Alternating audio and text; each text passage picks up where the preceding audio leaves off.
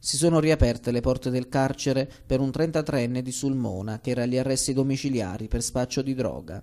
Ieri gli uomini della squadra anticrimine del commissariato di via Sallustio, coordinati dall'ispettore coordinati dall'ispettore Antonio Romanelli con attività condotta dall'ispettore Daniele Lerario, dopo il quotidiano controllo e monitoraggio del territorio hanno arrestato il giovane per il mancato rispetto delle prescrizioni dei domiciliari.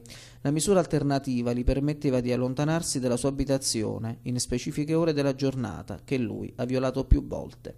A seguito delle segnalazioni inviate, il Tribunale di sorveglianza dell'Aquila ha emesso l'ordinanza di sospensione dell'esecuzione della pena alternativa, ripristinando la carcerazione presso la casa di reclusione di Sulmona.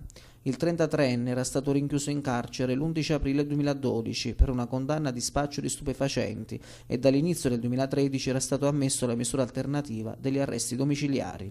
Il giovane era stato coinvolto anche nelle aggressioni in centro storico del giugno 2013 ai danni di alcuni militari, oltre che nella vasta operazione antidroga denominata Piccolo Colosseo del maggio 2012.